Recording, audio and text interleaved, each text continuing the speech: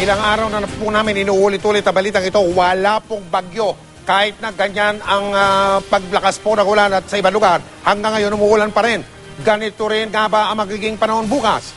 Malalaman natin mula sa ating resident meteorologist. Sasagutin niya yan si Ginoong Nathaniel Cruz. Mangtani! Tama ka, Mike. Wala ngang bagyo sa loob ng uh, Philippine Area of Responsibility. Yung magdamag at maghapong pagulan dito sa Metro Manila at sa iba pang bahagi ng Luzon ay bunsod ng isang low pressure area.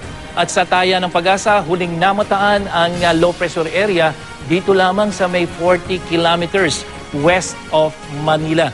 At it may posibilidad, Mike, na ito ay maging bagyo kasi papunta na ito ng karagatan o dito sa may West Philippine Sea. At ah, dahil kumikilos ito pa kanluran, inaasahan na ito ay lalabas sa loob ng isa hanggang dalawang araw. Pero Mike, habang narito yung ah, low pressure area na yan malapit dito sa ating bansa, ay asahan na magpapaulan ito sa buong Luzon.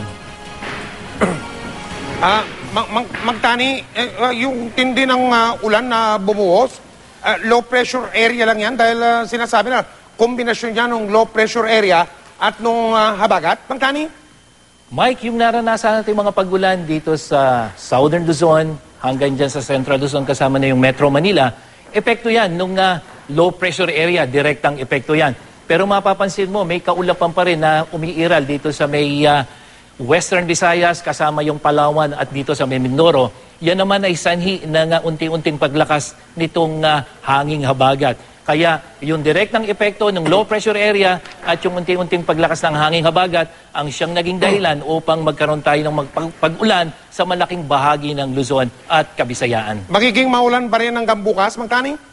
Mike, dito sa ating ah, rainfall forecast, tingnan natin. Una muna, yung pong ah, oras na yan na nagbabago, kada oras makikita po natin na nagbabago yung ating kulay. So, yung kulay green, Mike, yung kulay pula at yung kulay dilaw, ibig sabihin yan, may mga pag-ulan.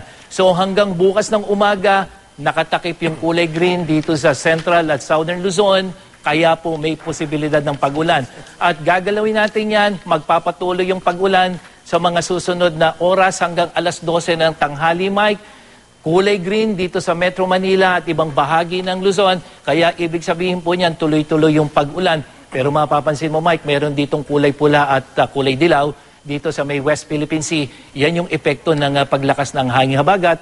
Kaya mula alas 12 ng tanghali hanggang sa gabi bukas, Mike, tuloy-tuloy yung pag-ulan kasama na ang Metro Manila at ibang bahagi ng uh, Luzon. Samantala, silipin naman natin ang magiging lagay ng panahon bukas, hindi lamang po dito sa Northern Luzon, kung hindi sa ibang bahagi pa ng Luzon. Tuloy-tuloy yung pag-ulan, katulad yan sa Baguio, dito sa may Cabanatuan at Clark, at gayon din dito sa Southern Luzon na kung saan ah, ang mga pag-ulan ay mararamdaman, kasama na po ang Metro Manila, diyan sa may Mindoro hanggang diyan sa Bicol Region. At kung titingnan naman natin ang panahon dito sa Metro Manila, mataas na ang posibilidad ng pag-ulan umaga pa lamang at lalong tataas yan pagdating ng tanghali, 90% hanggang sa gumabi Mike, mataas ang posibilidad ng pag-ulan. Kaya po muli paalala sa ating mga kapuso, huwag ninyo pong kalimutan ang inyong payong, kapote at bota. At magiging maulan din sa ibang bahagi ng Kabisayaan, kalat-kalat na dagliang pagulan at pagkulog pagkidlat ang ating inaasahan hanggang sa Mindanao Mike, tuloy-tuloy din yung mga pagulan katulad niya sa Davao, dyan sa may Kidapawan. Kaya po, muli pinagpa, pinapaalalahanan natin yung ating mga kababayan na maging maingat dahil dito sa mga pagulan. Mike, kahapon may nabanggit tayong isang low pressure area dito sa may ah, bahagi ng ah, Caroline Islands o dito sa may Micronesia. At ngayon mapapansin natin na mukhang na-disorganize itong isang low pressure area na yan. Kaya patuloy pa rin nating babantayan dahil ang isang low pressure area kumisan mawawala o kaya naman biglang lalakas. Pero muli po, malayo pa po yan sa ating Philippine Area of Responsibility pero patuloy pa rin natin yang babantayan. Okay, Magtani? Yes, Mike. Magtani, isa pang ah, tanong, hihirit pa ako ng isa pang tanong. Sabi nyo, patuloy yung pinakita yung kulay berde kanina na map sa mapa, eh sabi nyo na magiging maulan pa rin hanggang bukas. Yung lakas ba ng ulan o yung dami ng ulan magiging kaparehas din nung ulan kaninang madaling araw?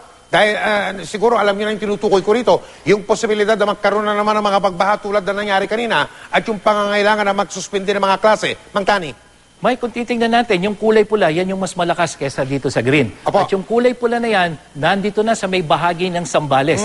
Kasi ito ay tangay-tangay nung papala yung low pressure area. Kaya may mga pag-ulan pa rin dito sa Metro Manila, yun na nga lamang, hindi kasing tindi at hindi kasing lakas nung mga ulang naranasan natin ngayong maghapon. Maraming pong salamat, Magtani.